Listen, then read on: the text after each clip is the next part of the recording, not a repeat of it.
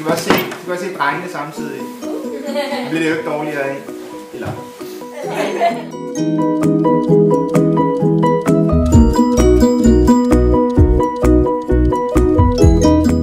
Det er en råd, der er blevet skudt bag til, og øhm, i mange tilfælde så mister de benet. Ellers går de sådan der rundt, og så går benet i forrådnelse, og så får de en meget lang og smertefuld død. Og så er der en kerne. Den laver, den, øh, den behandler dine, den behandler elektroniske impulser for, til positiv og negativ øh, ladning, så det, så, som du så kan bruge til beregninger. Øh, Og det skal man gøre hvert år, der udfylder man, hvad for nogle dyr man har skudt.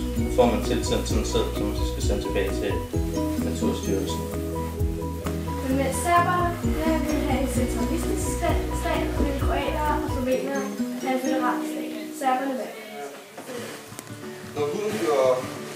påvirker det også ens nerver, som øh, leder signaler fra huden tilbage til hjernen.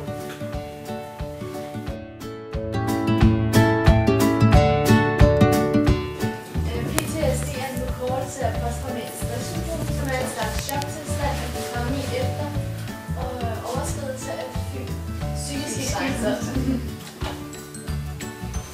De psykologiske kategorier. De internationale olympiske komité, retningslinjer for, hvilke stoffer, der skal sættes på det.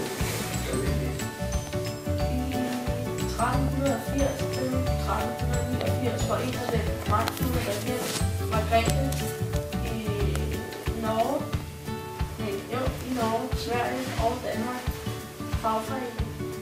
Og så har du nok også et par forældre til Sandhav. Det er ikke særlig fedt at tænke på det, selvom man er død.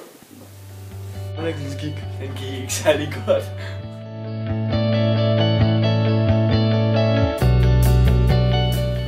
Det var godt, for vi var frie. Fri fra skole.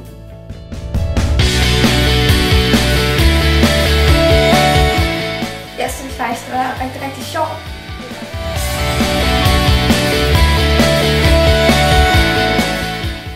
Jeg synes, det var lidt mærkeligt, det der med, at vi ikke skulle arbejde om mandagen.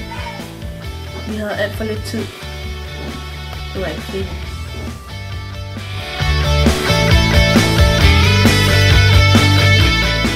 Jeg synes, det gik, øh, det gik i hvert fald over mine forventninger på en god måde. forventet. Og jeg havde også forventet, at den gik endnu dårligere, end du havde forventet. Det vil sige, at den gik dårligt.